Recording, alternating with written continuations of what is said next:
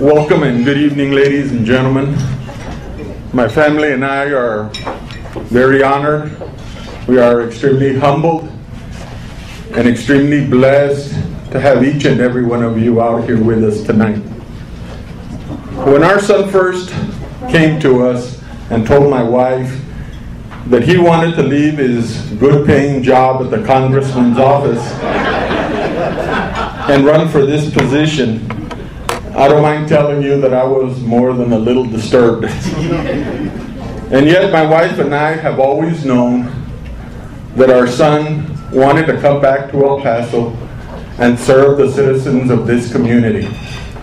Not behind the scenes, but as a person actually in the arena.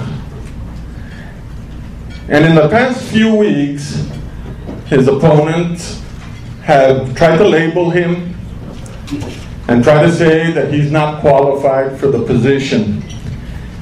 And yet, those of you who are here today who have known my son since he was a boy know that he has a very good heart and that he always tries to do what's right by people. And no amount of money that his opponents can spend can ever take that away from him. And uh, I just, uh, I know you didn't come to hear me talk today.